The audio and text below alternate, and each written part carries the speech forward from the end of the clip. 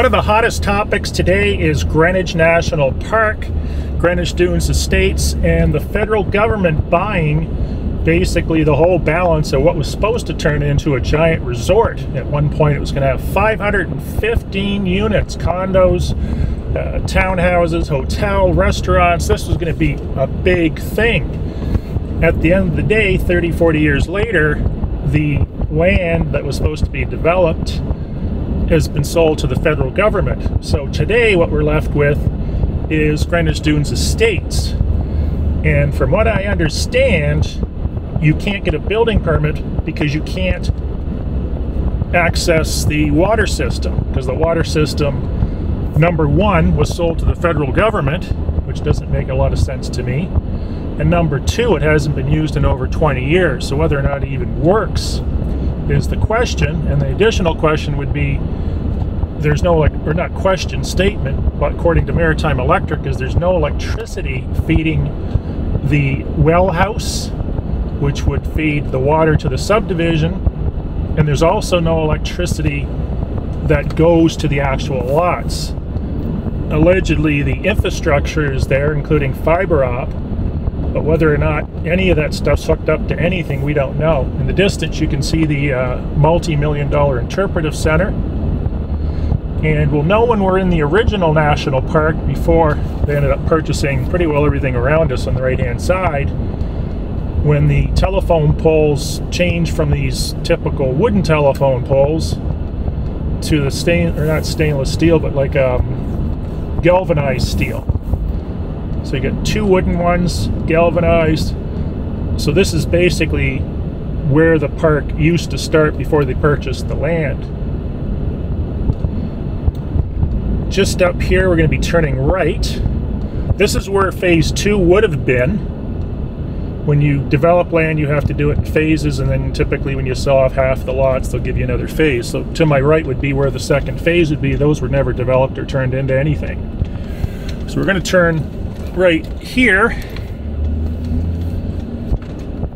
And on our left is the Interpretation Center. This is quite the spot. There's uh, few archeolo archaeological digs, all kinds of stuff going on in the area. It's very neat. You've got the mobile sand dunes. Apparently, there's only three sets of those in in uh, North America. Just going to do a loop here. I got stuck in this parking lot once with a brand new truck when I told the driver, do not take the truck on the snow, and he did it anyway, and we were here for three hours. That's the interpretation center. Lots of neat stuff in there movie you can watch or movies you can watch. The beach access is at the end of this road so you'd have to pay to get into the national park sometimes you're going to find this gate locked and it shouldn't be because it's denying access to the lot owners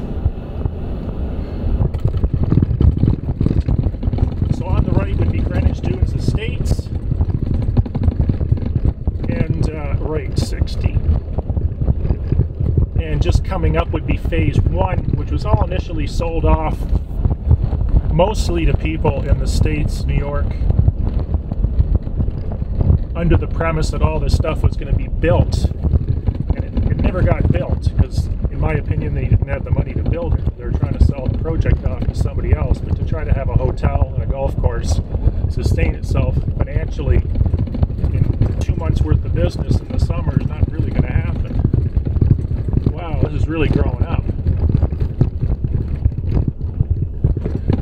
Either I'm going blind or I just drove by an entranceway. This road would typically be smoother. However, we've had some heavy rain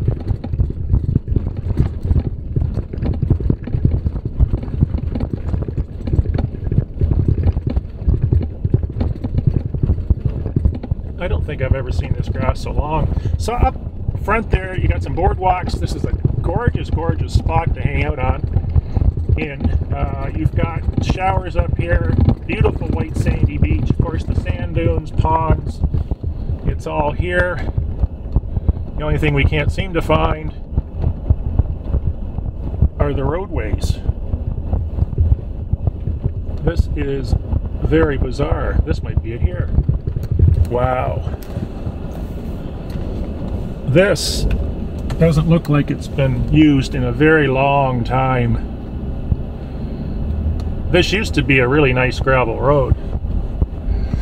And the other entrance I couldn't even find.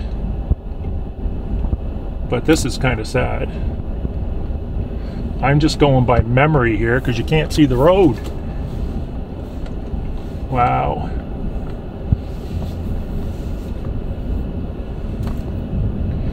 Obviously, if you own lots in here, you may want to get a bush cutter. Like these bushes are five feet, five, four, five feet high on my left.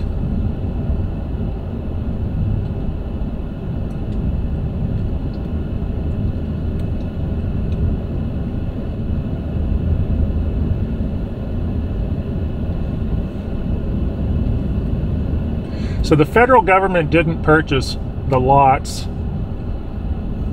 And according to the federal government, they are in talks with the province to discuss the what they referred to as a couple of days ago when I was talking to Parks Canada the million dollar water system. The original advantage of this subdivision is it was all underground services. You can see a telephone utility box on my left and then you see what would have been a transformer so that would have cost a lot of money to put in but uh, it just never took off. And it didn't take off in my opinion because nobody built anything. The initial plan was that a local developer was going to build three houses and never did. And uh, nothing ever happened. So this is the subject of all the controversy is this little house on the left.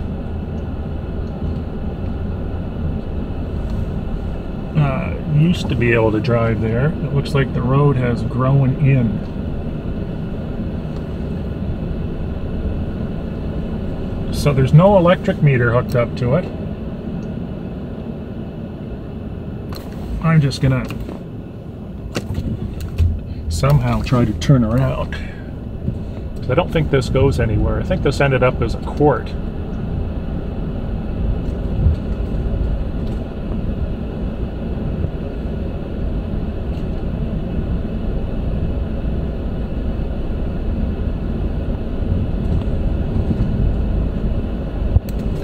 So this would have been the feeder street for phase two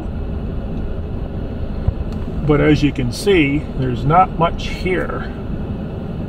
This is really sad to see what's happened with this location. I mean, it's it was a lot of people's dream come true to have a building lot in the middle of a national park. That Canadian flag in the distance is the entrance to the parking lot, and you can see the showers and all that sort of stuff there and there is a tower you can climb up and then in the far distance you can see the tip of a sand dune this would be looking at the lots that are closest to the water. As you can see the road is just really bad. And once the road gets to this point you're pretty well putting the top coat of gravel down. There's another telephone box there. And then of course the controversial well pump house. We do have a transformer here, which is interesting considering there's not supposed to be any electricity down here unless they just put the transformers in for something to do until they uh, hook the subdivision up. It's quite a walk to get in here. I mean, these are three feet high. So we got no power meter. And we got a, a locked door. I'm assuming that transformer was used to get the high voltage down for this well pump. So it looks like there might be some information or misinformation as to whether this is fed with electricity. Can you hear that? This transformer is live. there is power going to it, probably. And this would have been for the central services. Very interesting. Back to our tour.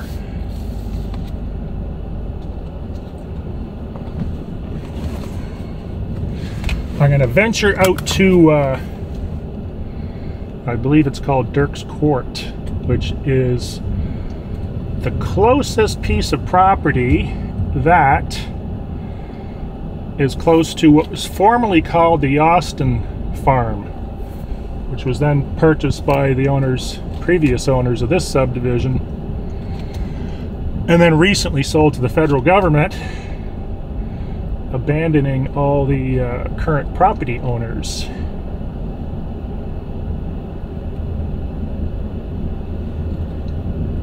So we get another pad with no transformer. So that transformer is sitting there probably using up electricity for 20 years doing nothing.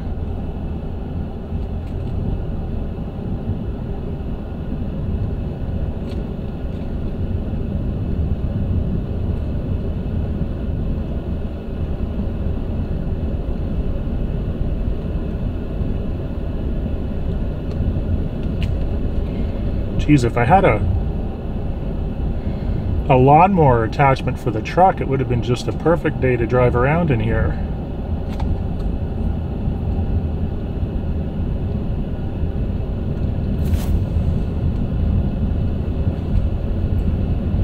I see a for sale sign in the distance. I think there's another one behind it that's currently listed for sale. I don't even remember these trees. Those trees look like they're 10 years old. There's a remnant of one of my old signs. It's probably been there for 15 years. It doesn't look like we're going to get... Well, let me see here.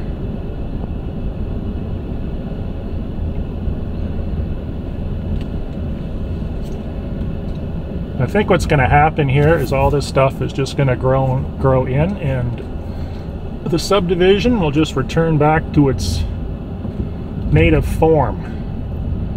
So if you're a property owner in here, you may want to bush cut this all down. I think the road's dead. It's not going to be revived. You could spray it, but it's it's too late.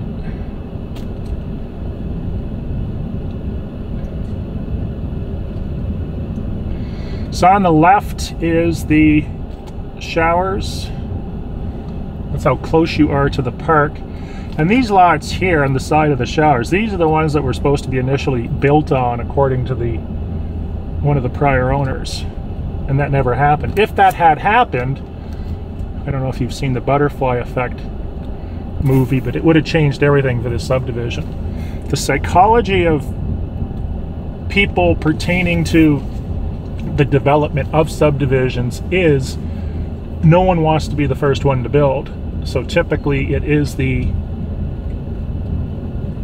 developer's responsibility or it should be their plan to build something. Because if they don't this is what you're going to end up with a bunch of empty nothing.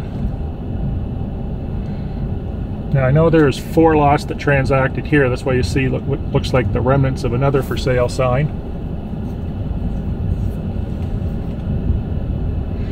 And when you look at the trees, you can tell you're going to get some pretty high winds here.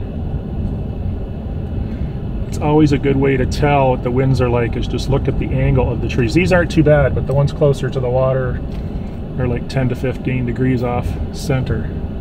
So there's another telephone box here. More exposed, exposed piping to our left.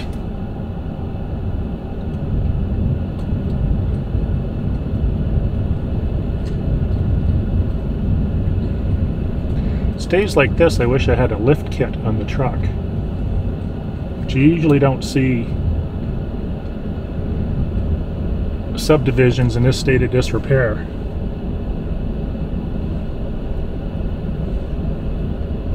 So right over there to my left is this is the beach.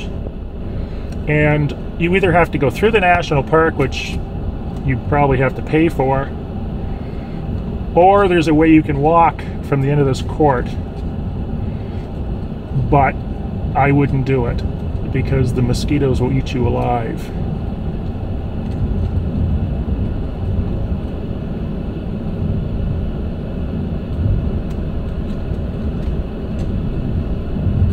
So in front of us, past that fir pine tree or whatever it is, just sort of off center to the right, that would have been the Yorston farm.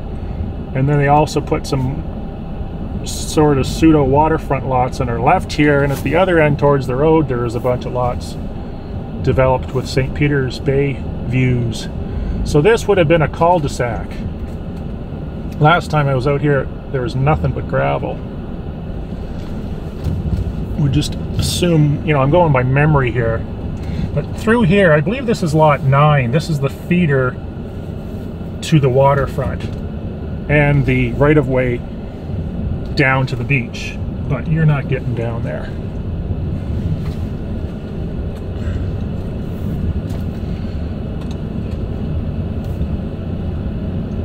And that's basically it in a nutshell.